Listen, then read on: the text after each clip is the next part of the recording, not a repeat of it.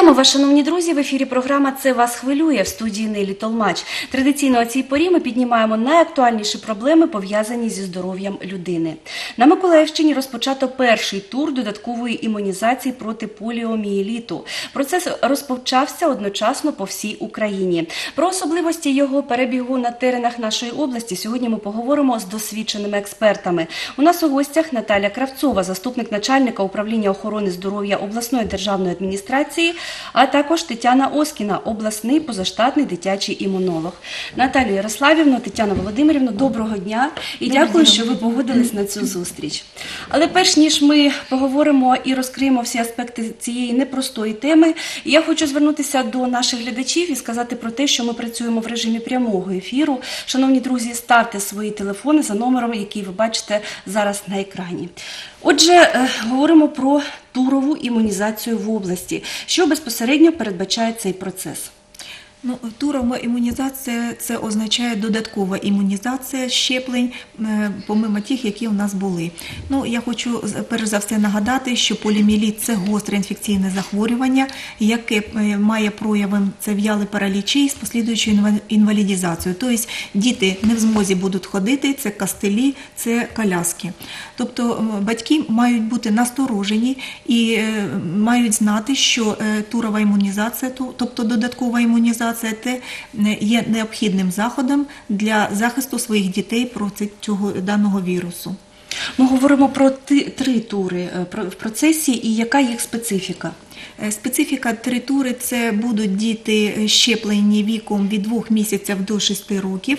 Тобто є план цього. Е, імунізації, і діти повинні бути щеплені е, ну, за цим віком. Е, Потім буде е, 30 днів між турами е, ну, Перерва. перерва. От, і е, потім буде другий тур протягом е, двох тижнів, а знову перерва в 30 днів, і третій тур буде завершуючий тур. Ми говоримо про додаткову імунізацію. Чому? Тетяна Володимирівна. Дополнительная иммунизация э, связана с тем, что э, в Украине э, выявлено два случая заболевания э, вакциноспородненным э, вирусом полиомиелита. То есть значит, эти два заболевания выявлены в Закарпатской области. И в связи с этим для того, чтобы прекратить распространение вируса в окружающей среде, было решено э, провести вот эти э, три тура. А почему э, вообще это случилось? Для этого, конечно, была почва определенная. Э, К сожалению, сложилась такая ситуация, что охват прививками против полиомиелита оказался крайне э, низкий. Так скажем, э, по Украине за 6 месяцев 2015 года он где-то 17%, по Николаевской области это 14,5%. С чем это связано? Это связано, с одной стороны, с, не- с недостачей вакцины, а с другой стороны, это связано с нарастающим количеством отказчиков. Эм, И вот это все подготовило почву для распространения вирусов. И э, не тем детям, которые э, имеют уже какую-то прививку против полиомиелита, а именно те дети, которые вообще не привиты. И в частности в Закарпатье так и случилось, э, что пострадали дети, которые не имели ни единой прививки. То есть где-то кто-то прививался, оральным полиомиелитом. Э, Те детки, которые получают оральный полиомиелит, они после прививки два месяца высевают э, этот вирус, выделяют скалом вирус полиомиелита, вакцинальный штамм. Этот вирус, он может распространяться с руками, с калом, с водой, э, со слюной и э, таким образом передаваться другим детям. И э, те дети, которые не привиты, именно для них это является э, как бы опасным, и может, да, они могут заболеть э, полиомиелитом. Те дети, которые имеют э, хотя бы одну прививку, для них уже это не опасно. Они, э, наоборот, они увеличивают, улучшают свой иммунитет, э, приобретая еще, э, если дети были привиты убитым полиомиелитом, укольчиком, тогда они получают еще с оральным полиомиелитом, они получают так называемый кишечный иммунитет, то есть защиту на слизистой кишечника, и таким образом еще усиливают свой иммунитет. Шановні друзі, знову я хочу звернутися до вас. Не забувайте, що ми працюємо в режимі прямого ефіру. У вас є причудова нагода поставити свої запитання нашим гостям. Сьогодні ми говоримо про туровий процес щеплення проти поліомієліту. Ось зараз на ваших екранах ви бачите номер телефону. Будь ласка, приєднуйтесь до нашої бесіди, ставте свої запитання. а Ви получите вичерпну е, відповідь. Саме зараз давайте поговоримо безпосередньо про вакцину. Звідки доставлено вакцину в Україну і чи наявна вона у достатній кількості?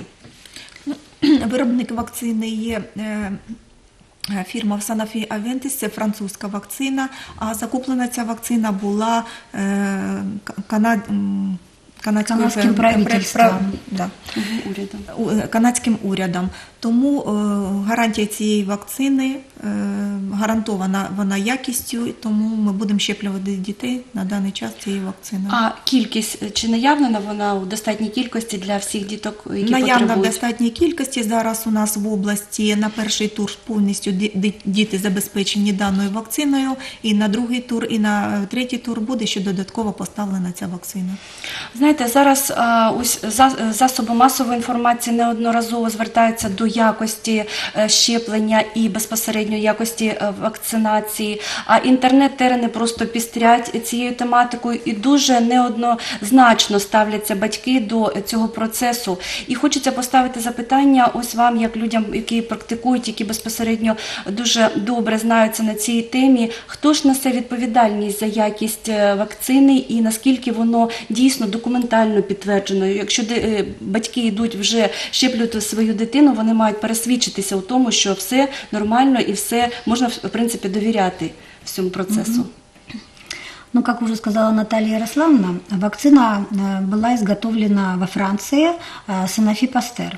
Это ну, довольно известное предприятие, э, которое вырабатывает вакцины уже очень давно, скажем, еще а, с начала прошлого столетия. А, Когда вакцина делается, вот э, я говорю сейчас э, конкретно об оральной полиомиелитной вакцине. Когда вакцина производится, а, она на предприятии сделана и она замораживается, потому что предприятие не знает, э, а, кто будет э, поставщик, куда эта вакцина будет доставлена. А Когда это становится известно, вакцина размораживается и транспортируется вакцина всегда в размороженном состоянии, потому что нет самолетов рефри- рефрижераторов, поездов рефрижераторов. А, Вакцина поступает в страну, в частности, да, в Украину. Она обязательно замораживается на складе Укрвакцины, потому что, опять-таки, неизвестно, а, как долго она там будет находиться. А замороженная вакцина орального полиомиелита может находиться в замороженном состоянии очень долго. После этого э, значит, вакцина проверяется на Украине и получает сертификат качества в Украине. До этого она получила сертификат качества Всемирной организации здравоохранения, то есть уже два сертификата качества.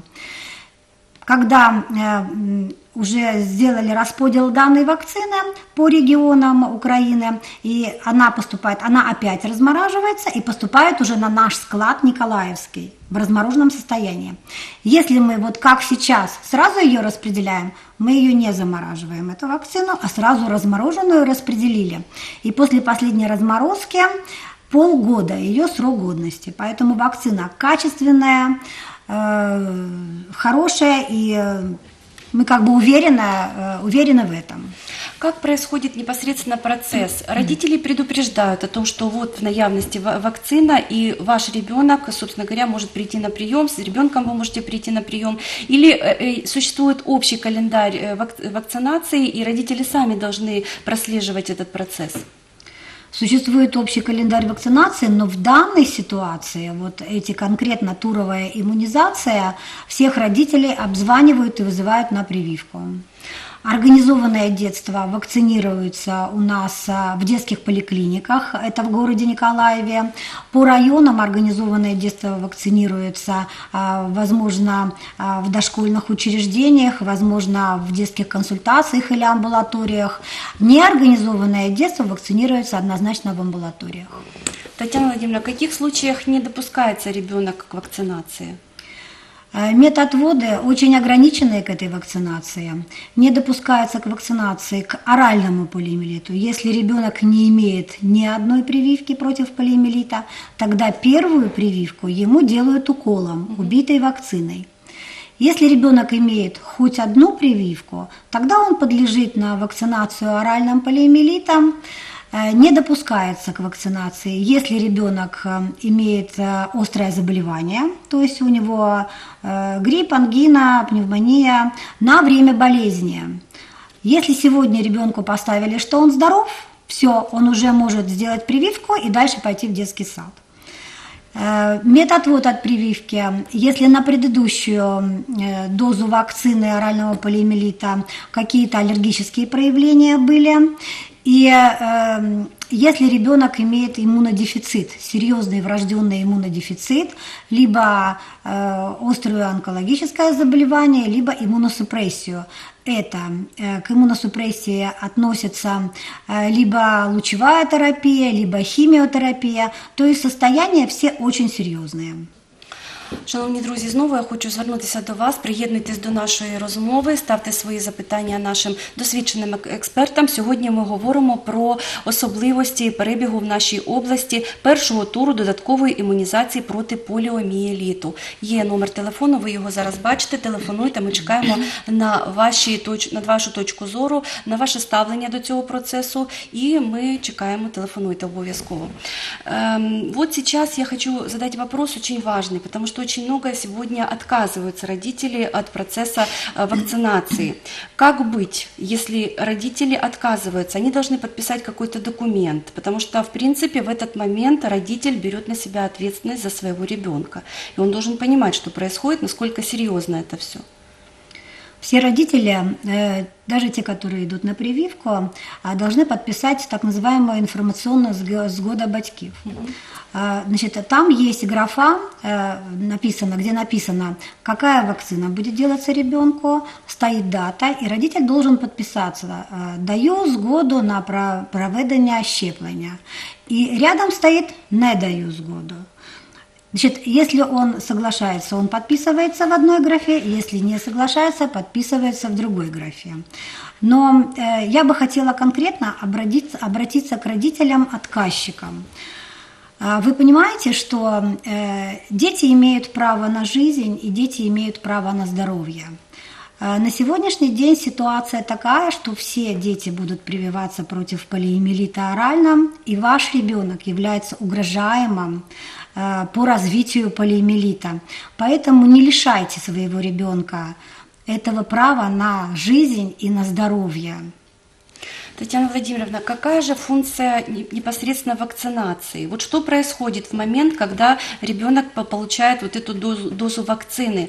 Потому что, опять-таки, вот в интернет-среде очень многие считают, что вакцинация – это э, способ проникновения в организм инфекции. И в этот момент ребенок подвергается величайшей опасности. В принципе, что это не является стопроцентным, знаете, моментом э, относительно э, следующей ситуации его здоровья здоровья, что будет проявляться это заболевание, что лучше, легче перенесет заболевание, если будет э, ситуация сложится так. Вот на самом деле что происходит? Но туровая иммунизация, она конкретно и предназначена для того, чтобы остановить инфекцию. То есть, учитывая то, что у нас низкий охват прививками против полиомиелита, э, вот эта туровая иммунизация, когда вакцинируются все, позволяет сразу а, вырасти вот этой а, иммунной прослойки во много раз. Если у нас сейчас 14, то это будет 95-98%. Сразу исключается возможность э, передачи этого вируса в окружающей среде.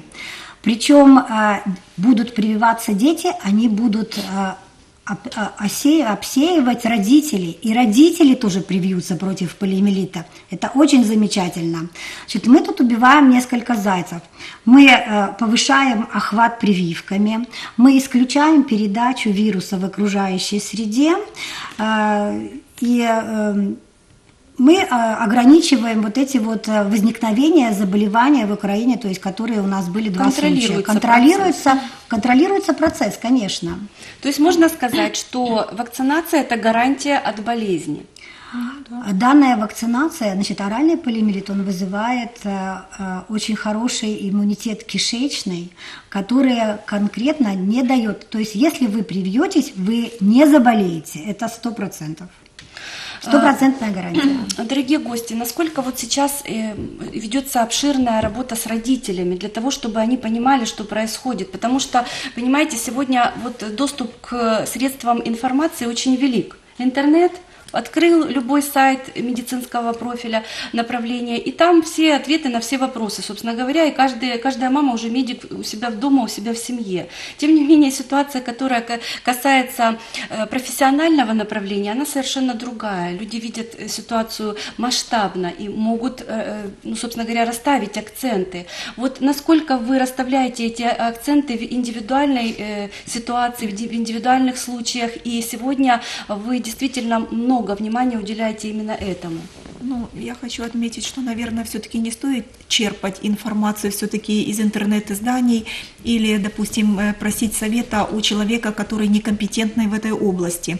Я считаю, что если у родителей возникают какие-то вопросы, лучше обратиться э, к тому же врачу-педиатру по месту жительства. Если какие-то вопросы остались для них непонятными, может быть, даже обратиться к иммунологу. У нас есть и городской иммунолог Ирина Николаевна Плиткина, и Татьяна Владимировна. Вот, поэтому все-таки информацию нужно брать у компетентных э, в этой области людей. Потом у нас еще э, также есть информационные э, статьи, которые размещены и в поликлиниках детских, и в амбулаториях, где родители смогут э, хотя бы минимальную информацию для себя э, взять, да, подчерк, подчеркнуть. Если что-то даже из этих информационных, э, допустим, из этих информаций что-то будет непонятно, они могут подойти к медработнику, э, лучше э, компетентному, э, к детскому, и уточнить некоторые моменты, то, что им непонятно в данном случае. Но хочу еще дополнить Татьяну Владимировну по поводу лечения. То есть на сегодняшний день нет у нас медикаментов для лечения данного заболевания. На сегодняшний день единственной защитой для ребенка это вакцинация. вакцинация. Ну, информация более чем серьезная, и, конечно, каждый родитель должен сделать свой вывод и э, исходить из того, что все-таки говорят специалисты по этому направлению. Если, например, говорить в общем о вакцинации в нашей стране, о ситуации довольно-таки э, серьезной и критической в каких-то направлениях, э, например, существует календарь прививок. Вот расскажите нам, как он, э, со, с чего он состоит и как он составляется. Э, есть ли привязки к определенному возрасту, и что определенную вакцину вакцину э, нужно делать в определенном возрасте. Если вовремя ребенок не привит, это все уже, собственно говоря, опоздали. Или можно вернуться в том возрасте, в котором есть желание у родителей, ну, восстановить э, ситуацию с, э, с щеплением. На сегодняшний день в Украине прививают против 10 инфекций. Конечно, все это желательно делать по календарю, потому что важно для выработки иммунитета, э, очень важно соблюдать, конечно, перерывы между вакцинациями. А почему делают э, вакцинацию в таком раннем возрасте? Да потому что дети в том возрасте встречаются меньше с инфекцией. И когда уже ребенок выходит в детский сад, он должен быть полностью привит от столбняка, и от гепатита Б, от полиомиелита и так далее. Э, но э, вакцинацию никогда не поздно делать, потому что мы не знаем, где инфекция нас может поджидать. Вот никто же не знал, что вот у нас будет э, полиомиелит в Украине. У нас Украина свободная зона, свободная территория от полиомиелита с 2002 года. То есть у нас не только не было случаев полиомиелита, у нас не было, э, не, не высевался и не регистрировался этот полиомиелит нигде. Э, Но вот вы видите, э, еще раз хочу обратить внимание, что инфекция не дремлет. И как важно иметь достойный и охват вакцинацией. А вакцинироваться можно в любом возрасте начать. Вопрос в том, есть ли в наявности, собственно говоря, вакцина. Вот сейчас мы посвятили целую программу тому, что сейчас именно вот родители обращайте внимание и пользуйтесь случаем, потому что в стране бесплатно предоставляется Бесплатно. такая возможность. Да? Э, Я хотела бы задать вопрос э, относительно того, кто же прослеживает э, ситуацию дальше. Вот ребенок получил прививку. Кто, кому дальше обращаться? Это все-таки участковый педиатр или иммунолог? Но я попрошу вас ответить на этот вопрос после разговора со зрителем. Алло, ми вас слухаємо, будь ласка, ви в ефірі. Доброго Здравствуйте. дня. Доброго дня. Э, Подскажите, пожалуйста, к- какой, сколько нужно денег э, потратить родителям, чтобы получить эту прививку? Какие расходы могут ожидать родителей, чтобы привиться от полиомиелита? Спасибо большое за вопрос. Итак, Вакцина бесплатная. денежный вопрос. Вакцина бесплатная. В любое время вы можете подойти по месту жительства и получить эту прививку. Мы даже будем приветствовать Мы их. будем рады вас приветствовать. Дякуємо за ваше запитання. Телефонуйте обов'язково ще. Ще є трохи часу в рамках прямого ефіру. Ставте свої запитання за номером, який ви бачите на ваших екранах. А ми продовжуємо спілкування. Як треба підготувати дитину до щеплення? Чи є певні особливості, певні моменти, до- на які мають звернути увагу батьки? Ребенок должен быть здоров на сегодня. Самое Готовить главное. никак ребенка не нужно. Это самые такие моменты, да? Да. Ребенок здоров, и тогда Прививка, идем да, на... переносится очень легко, никаких... э, То есть температуру она не дает, эта прививка. Могут быть незначительные, в редких случаях, незначительные э, так называемые диспептические проявления, то есть это может быть немножко тошнота, немножко разжижение стула, но это все самостоятельно проходит э, где-то в течение двух-трех дней. Скажіть, будь ласка, ось коли готується е, вакцинація, щеплення, ось вакцина безпосередньо, як вона тестується, як відстежуються оці побічні реакції? Тому що е, це процес індивідуальний, безумовно. Так кожна дитина може е, відреагувати по-своєму, і в принципі, оті е, складні ситуації, іноді навіть літальні, які ми бачили з досвіду щеплення, в принципі, різнопланового, показують, що кожна дитина реагує по-своєму. Батьки мають звер- звертати увагу особисто на стан своєї дитини і е, знати, що можливо вона якось е, зреагує. Чи в принципі педіатри мають повідомляти, який е, ну, знаєте, спектр яких побічних е, ефектів може спрацювати в даному випадку? Педиатр должен рассказать, конечно, что может быть э, после вакцинации. Э, Но каждый э, родитель знает своего ребенка и знает, что вот эта ситуация не характерна для ребенка, да, и он должен э, оповестить своего врача о каких-то во- возникших ситуациях после вакцинации. Э, Вот тот вопрос, который, в принципе, я задала перед разговором со зрителями. Кто отслеживает ситуацию? Все-таки это участковый педиатр или иммунолог? И если ребенок, например, болеет, э, и сегодня мы говорим о полиомиелите, но, в принципе, вот э, ситуация с прививками, это ну, часто задаваемые вопросы. Кому лучше обращаться? Все-таки иммунолог или педиатр? Ну, и все, прежде всего нужно обратиться к педиатру, а педиатр уже распределит, насколько, допустим, серьезная ситуация, и он посоветует обратиться к узкому специалисту. Поэтому на сегодняшний день решает основные вопросы это э, врач-педиатр или семейный врач, в зависимости от того территориально, как это расположено и у кого наблюдается ребенок. Вот. Когда э, приходят на вакцинацию дети, естественно, должны быть оговорены, и родители подписывают информационное согласие, то есть, как Татьяна Владимировна указала, что каждый родитель знает своего ребенка, он знает на сегодняшний день, если он получает какие-то препараты, или состоит ли он на диспансерном учете, то есть об этом знает родитель. И он подписывается, и там пункт указан, э, что если вдруг что-то, какие-то возникают реакции, несвойственные ребенку, он обязан информировать своего лечащего врача. И дальше врач уже действует по ситуации. Здесь я еще хотела добавить, что э, постпрививочный период возникают же ситуации совершенно разнообразные. То есть это не обязательно может быть э, реакция на прививку, это может ребенок может быть параллельно заболеть, у ребенка может заболеть живё- живот, ребенок может отравиться. Но с любой ситуацией вы должны обратиться к врачу, и врач уже разберется, что там на самом деле. То ли это реакция, то ли это заболевание какое-то, совершенно другое. То есть важно еще определить вот это причинно-следственное Связь. связь причинно-следственную связь. Вы знаете, сегодня очень много важной информации прозвучало. Я очень хочу, чтобы действительно наши родители услышали, и все дети, и взрослые были здоровы. Ваши пожелания? Последнее слово всегда очень запоминается. Пожалуйста. Ну, я прежде всего хочу сказать, чтобы родители заботились о здоровье своих детей, а особенно детей несовершеннолетних, э, которые на сегодняшний день, их здоровье зависит э, от, от родителей. Вот, поэтому э, будьте все-таки внимательны и относитесь к здоровью своих детей серьезно, чтобы наша нация была здоровой и крепкой. Я хочу пожелать вам, чтобы вы э, нашли время, оставили все свои дела, взяли ребенка и получили те две капли, которые, возможно, спасут вашему ребенку жизнь.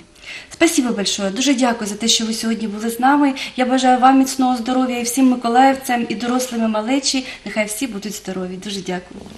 Шановні Спасибо. друзі, підходить до завершення програма Це вас хвилює. Я Нелі Толмач вдячна всім, хто був з нами. Бувайте здоровими, залишайтеся на хвилі телеканалу Миколаїв. До зустрічі в ефірі.